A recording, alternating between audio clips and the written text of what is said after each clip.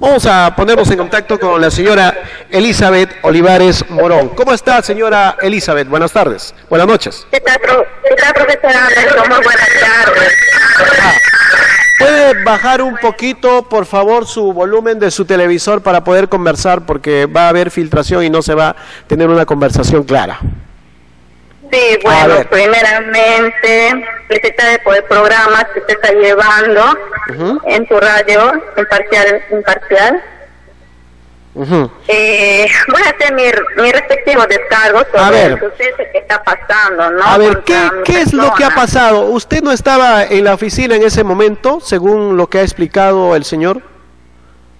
No, yo no estaba en la oficina. Ajá. Al momento de yo, de mi persona, en regresar a la oficina, encontré al señor sentado en una de las sillas de espera. Ya. Entonces yo cordialmente lo saludé, lo dije, señor, muy buenos días. Ujú. Y el señor me saludó también. ¿Qué tal, señorita? Buenos días, me dijo. Él me respondió el saludo cordial. ¿Ya? Entonces me acerqué a mi oficina, me senté y me levanté otra vez y me acerqué al señor y dije, maestro, ¿qué es lo que está esperando? ¿A quién está buscando? Porque sinceramente no había nadie en la oficina, solamente estaba el señor sentadito ahí. Entonces cordialmente me acerqué, lo pregunté y me dijo que le estaba esperando el ingeniero Vidal. Ujú. ¿Por qué le esperaba? ¿Por qué, ¿Por qué le esperaba al ingeniero Vidal? este, lo que él me dio a entender de que quería conversar personalmente con el ingeniero Vidal. Yo me le acerqué y le dije, "Este maestro, no está esperando acá porque el ingeniero Vidal no se encuentra. En esta, en esta oportunidad el ingeniero Vidal no se encuentra en la sede de Tocache, está en comisión de servicios. Ujú. Y él me respondió de una forma muy alterada, expresiva, y me dijo que la señorita, la otra señorita le había dicho de que en dos horas el ingeniero Vidal va a estar acá. ¿Quién, señorita? ¿A quién se refiere?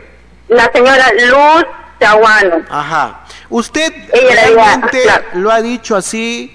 Este, palabras como por ejemplo, ¿qué cosa quieres? Eh, señala él también, le dijo que es un ciego enfermo, usted es un ciego enfermo y otros y otras y otras expresiones más. ¿Usted dijo, le dijo eso al señor?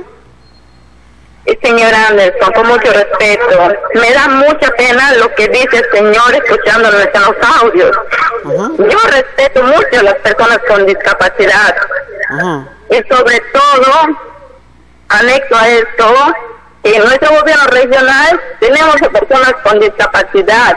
Ujú.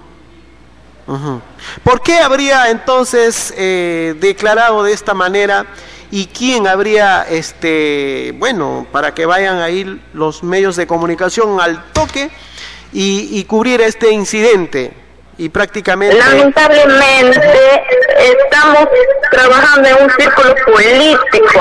Ujú. El círculo político que tarde o temprano quieren, no sé, perjudicar de una, alguna u otra forma a mi persona o a la persona del ingeniero Vidal. Ujú. Toda vez de que yo soy su secretaria de confianza. Ajá. Ajá. O sea, usted no le dijo esas palabras que el señor invidente eh, menciona en las declaraciones. No, señora Anderson. Por eso, como le digo, me da mucha pena de escuchar el video que el señor me denigre como persona, porque no son palabras. ah, Yo nunca actúo de esa forma. Usted ya, este, bueno, el señor se acercó a la comisaría para hacer la denuncia correspondiente. ¿Usted qué, qué medidas va a tomar al respecto? ¿Cuál va a ser su, su, su acción de usted? ¿O su Bueno, ahorita estoy conversando con un abogado para que me asesore mucho mejor. Y decir pues a la gente que no, no, no se involucren, involucren a personas que no tenemos nada que. El señor, el señor, este, bueno, él menciona que quería conversar temas de discapacidad, ¿no? Con respecto, bueno, ustedes indican que justamente tiene un Sí. programa social ahí, ¿no? Sí, ahora sí le digo. Él dice que quería señor- pero el ingeniero aquí en Tocache está o no está el ingeniero? No, profesor Anderson, ahorita el ingeniero no se encuentra en la ciudad de Tocache. Ahora yo le quiero comentar lo siguiente, que el señor, el señor con discapacidad está pidiendo un apoyo para económico para que se mande a operar de la vista. Hemos formado una reunión con todos los trabajadores para ver de qué forma lo podemos apoyar con la discapacidad que cuenta ahorita el señor.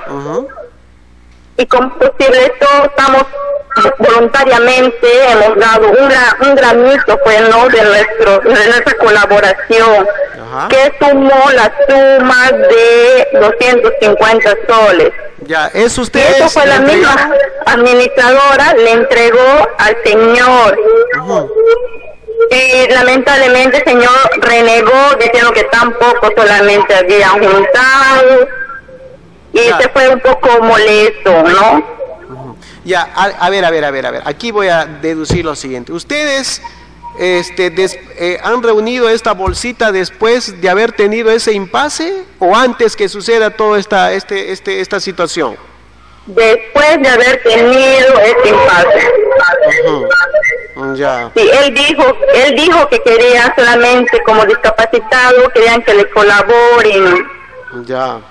Ajá, económicamente, incluso mencionó algunas instituciones diciendo de que le habían este, colaborado con, con suma de 1.800 soles, así Ya. nos comentó. Ya, o sea, se habían este, enojado, molestado, incomodado porque habían reunido solamente ese monto.